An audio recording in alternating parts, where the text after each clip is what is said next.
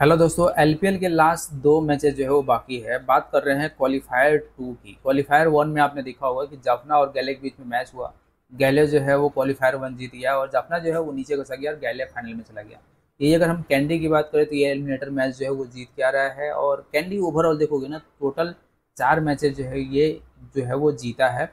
अब बात करते हैं कि जफना और कैंडी में दोनों जो है वो कौन जो है वो जा सकता है इसको जो हम लोग डिटेल्स में देखते हैं कि कैसा जो है वो ये मैच रहने वाला है और दोनों में चांसेस किसका है इनके हेड टू हेड को देखेंगे तो उससे जो है हमें आइडिया मिल जाएगा कि किस तरीके से जो है ये दोनों टीमें परफॉर्म कर सकती है तो एक एक करके जो है वीडियो के लास्ट तक हम लोग सारी चीज़ें डिस्कस करेंगे वीडियो में जो है पूरा बने रहना तभी जो है आप ये सारी चीज़ें जान पाओगे कैसे आप विनर खेल सकते हो सेशन खेल सकते हो या फिर जो है अगर किसी तरह का फैंटासी खेलते हो तो उसके लिए कैसे जो है आप टीम बना सकते हो सबसे पहले बात कर लेते हैं इस मैच के बारे में तो ये क्वालिफायर टू मैच होगा, जो कि आपको सैटरडे को, यानी कि कल 20 जुलाई को देखने को मिलेगा। टाइमिंग जो होगा वो 7:30 इंडियन स्टैंड टाइमिंग के हिसाब से, और वेन्यू जो है वो सेम है कोलंबो पे जो है आपको ये देखने को मिलेगा, जहाँ के पिच रिपोर्ट के बारे में हम अभी बात करेंगे, और लाइव जो आप इसे फ़ैन कोड पर जो है वो देख सकते हो। सबसे पहले बात कर लेते हैं कि अभी तक जो है आप मुझसे नहीं जुड़े हो, और चाहते हो कि विनर सेशन इंट्री में बहुत अच्छे से प्रॉफिट उठा सको ये जो है व्हाट्सएप का नंबर है जहाँ पे आपको जुड़ जाना है। यहाँ पे आपको विनर सेशन एंट्री से रिलेटेड सारी चीज़ें मिल जाता है। जो कि आप टेलीग्राम पे जाके भी जो है, वो देख सकते हो डायरेक्टली यहाँ पे स्कैन करके टेलीग्राम जुड़ सकते हो या फिर वीडियो के डिस्क्रिप्शन में डिटेल्स मिल जाएगा, जहाँ से जो है आप डायरेक्टली जुड़ सकते हो। और चैनल सब्सक्राइब करें ना, ताकि जब भी वीडियो अपलोड हो तो उसका नोटिफिकेशन जो है वो आपको मिलते रहे। सबसे पहले बात कर हैं हम लोग यहाँ पे कोलंबो के पीच रिपोर्ट के बारे में। तो कोलंबो पे हमने बहुत सारे मैचेस देखे। इस सीज़न में भी देखिए पिछले सीज़न में देखिए अभी आने वाले टाइम में इंडिया श्रीलंका का मैच भी जो है होने वाला है। तो कोलंबो का पिच जो है वो काफ़ी महत्वपूर्ण हमारे लिए हो जाता है। कोलंबो का पिच पर हमने देखा कि 200 रन भी बन रहा है। इवन 200 जो है वो आपको बहुत अच्छे तरीके से चेस भी कभी हो जा रहा है। कभी आप देखोगे तो 130 के आसपास भी रन बन रहा है, कभी 150 के आसपास भी रन बन रहा है। तो आप ऐसा कह सकते हो कि पिच जो है बैटिंग असिस्टेंट ऑफ़र तो करता है, लेकिन अगर बैट्समैन जो है वो अच्छे से नहीं खेल पाए या संभाल नहीं पाए तो बहुत हाईली चांसेस है कि इस ग्राउंड पे आप रन जो है 150 के आसपास ही जो है वो देखोगे। पिछला दोनों जो क्वालिफायर मैचेज होगा, और दोनों क्वालिफायर मैचेज में आप देखा होगा कि बहुत अच्छे से पहले वाले मैच में जो है वो चेस हो गया, दूसरे वाला मैच में बहुत अच्छे से जो है टारगेट बना।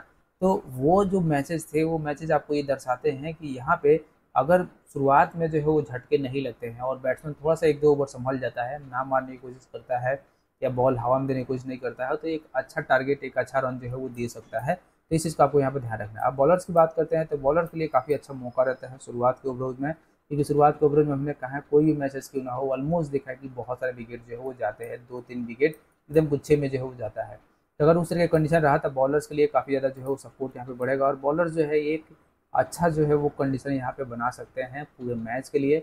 और अगर स्पिनर की बात करें तो ऐसा नहीं है स्पिनर यहाँ पे जो है वो इफ़ेक्टिव नहीं हो रहे हैं। आपने इसरू उडाना को देखा होगा, आपने जो है वांगडू हसरंगा को देखा होगा तो बहुत अच्छे से जो है यहाँ पे जो स्पिनर है वो भी जो है इफ़ेक्टिव हो रहे हैं अब बैट्समैन को जो है इनमें से जो है थोड़ा सा बचना है कि किस तरीके से वो आगे बना सकते हैं अब बात करते हैं यहाँ पे टोटल तो ये 45 जो है मैचेज है लेकिन यहाँ पे आप टोटल देखोगे तो आपको जो है वो 50 से ऊपर मैचेज जो है नज़र आ चुका है जिनमें से अगर इस 45 मैचेज बात करें तो चौबीस जो है फ़र्स्ट बैट जीता है और एक ही जो है सेकंड बैट और फ़र्स्ट बैट एवरेज जो है 150 के आसपास ही जो है आपको देखने को मिलेगा क्योंकि कभी रन यहाँ पे 200 बन जा रहा है और कभी देखोगे तो जो रन है वो आपको जो है 150 से नीचे ही दिखाई देगा तो जो ऑन एवरेज है 150 के आसपास ही है। अब स्कोरिंग पैटर्न की अगर बात कर लेते हैं तो 150 से नीचे इन पैंतालीस मैचों में देखोगे तो बाईस स्कोर है 150 से 70 के बीच में 10 स्कोर है 170 से 90 के बीच में नौ स्कोर है और एक सौ नब्बे से ऊपर आप देखोगे तो आपको चार स्कोर जो है दिखाई देगा। अब इनमें जो है डिफरेंस क्या है कि ज़्यादातर आप स्कोरिंग एरिया देखोगे तो एक सौ पचास से नीचे है और मैं यही बता रहा हूँ कि जो बॉलर्स यहाँ पे है वो इफ़ेक्टिव हो रहे हैं शुरुआत के ओवरोज में।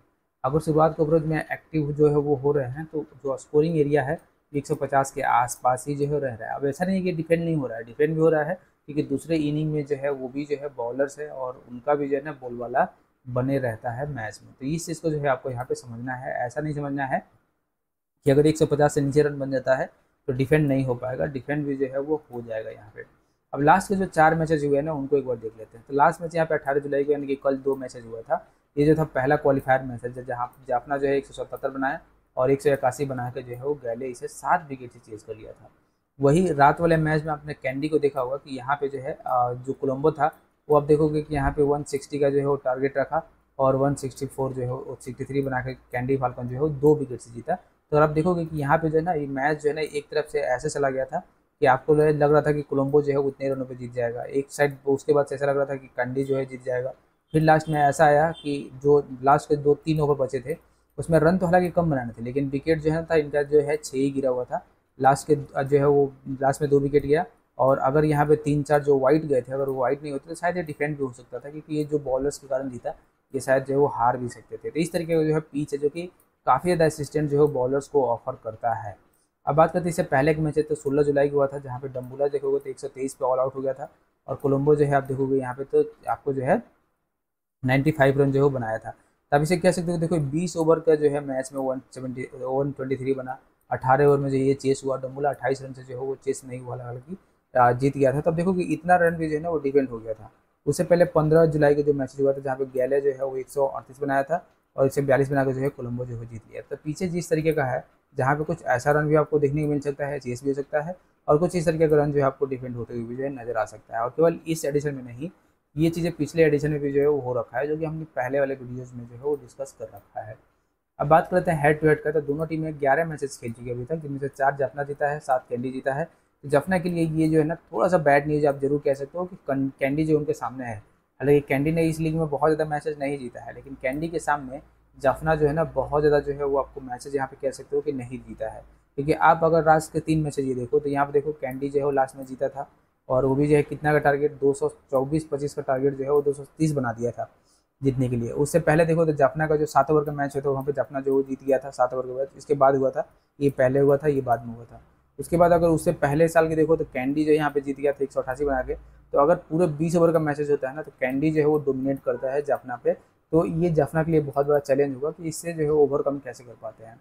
अब रिसेंट परफॉर्मेंस देखोगे तो लास्ट के चार मैचों में, पाँच मैचों में तीन जो है वो लगातार कैंडी जीता है। एक पहले का मैच हारा है एक लास्ट का मैच हारा है।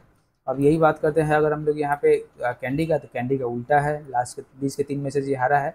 एक अभी का जो है, लास्ट ये एलिमिनेटेड जीत के आ रहे हैं। उससे पहले जो है, एक लास्ट मैच जो है, ये जीता था। तो ये जो है ना, इनका जो है अभी रिसेंट का परफॉर्मेंस है।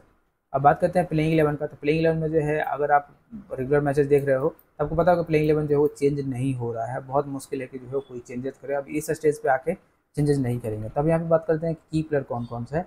जफना की तरफ़ से निशंका का परफॉर्मेंस अच्छा है, कुशल मेंडिस का अच्छा है रिले रिलेविसो का उसका उसका फर्नांडो का अच्छा है। चरित श्रीलंका भी जो है ना ठीक ठाक है, इसलिए उम्र जाइगर जो है वो ठीक ठाक है। इसके अलावा कह सकते हो कि यहाँ पे जो है तबरेज सैमसी का अच्छा है, अफीन एलन का भी जो है थोड़ा बहुत ठीक ठाक है। अब बात करते हैं कैंडी का सैंडी वन का बहुत अच्छा है, अंधेर जो है फ्लेचर का बहुत अच्छा है। बंगलू हसरंग का तो बहुत अच्छा परफॉर्मेंस जो आपको देखने को मिल रहा है। कुमांडू मेंडोस का भी अच्छा है, एंजलो मैथ्यूस का, सनाका का, इन दोनों का भी जो है बहुत अच्छा है। बॉलिंग की बात करते हैं तो आपको जो है हसनैन का थोड़ा ठीक ठाक है। और आप जो है यहाँ पे रमेश मेंडिस को जो है वो थोड़ा थोड़ा लेके जो है जा सकते हो तो ये जो हो गया कि की प्लेयर हो गए जिनको जो है आप अगर डीएल के लिए बना रहे हो या फिर जो है आप चाहे स्मॉल लीग खेलो या जी खेलो तो उनके लिए जो है आप टीम बना सकते हो इनके सहारे से और कोशिश करना कि इन्हीं को जो है वो लेके जाओ क्योंकि परफॉर्मेंस जो है आपको इन्हीं से जो है वो आते हुए नज़र आ रहा है अब बात कर लेते हैं हम लोग यहाँ पे ड्रीम इलेवन टीम का तो ये जो है ना ये मैंने टीम बनाया है स्मॉल लीग के लिए तो आप देख सकते हैं यहाँ पे विकेट के ऊपर हमने चंडीगढ़ को रखा है बॉलिंग हमने यहाँ पे तीन रखा है, फर्नांडो को रखा है जो है आंध्र फ्लेजर को और रिसो को। और ऑलराउंडर जो हमारे पास बहुत सारे ऑप्शन है, जैसे वांगड़ू हसरा को हमने कैप्टन बनाया है, मैथ्यूस को रखा है मुरजाई को और सनाका को। बॉलिंग की बात करें तो फर्नांडो को रखा है सैमसी और हसनैन को जो है, ये पिक करके रखा है। तो ये जो है ये हमारा जो है, वो जी स्मॉल लीग के लिए जो टीम है, आप इससे जो है जी भी जो है खेल सकते हो, क्योंकि टीम जो है, वो अच्छा है और अच्छा परफॉर्म करेगा। लेकिन इसके अलावा और भी आपको टीमें चाहिए तो आप हमें व्हाट्सएप पे जो है, जुड़ सकते हो, जहाँ पे आपको इससे रिलेटेड देखने को चीज़ें मिल जाएगी। इसके अलावा आप टेलीग्राम पे जो है जुड़ सकते हो ड्रीम इलेवन टीम के लिए डायरेक्टली स्क्वाडिंग इलेवन सर्च करके या फिर इस पर जो है डायरेक्ट स्कैन करके आपको जो यहाँ पे ड्रीम इलेवन टीम जो है वो मिलते रहता है, जहाँ से आप ले सकते हो और बहुत अच्छे से प्ले कर सकते हो। अब अगर अभी तक जो है वीडियो देख रहे हो और अभी तक आप मुझसे नहीं जुड़े हो, चाहते कि विनर सीज़न एंट्री में बहुत अच्छे से प्रॉफिट बना सको, ये जो व्हाट्सअप का नंबर है जहाँ पर आपको जुड़ जाना है, साथ में आप टेलीग्राम पर जिससे कॉल फ़ोटो सर्च करके ये चीज़ें वीडियो के डिस्क्रिप्शन में मिल जाएगा, या फिर डायरेक्टली स्कैन करके कुछ ऐसा जो है आपको देखने को मिलेगा।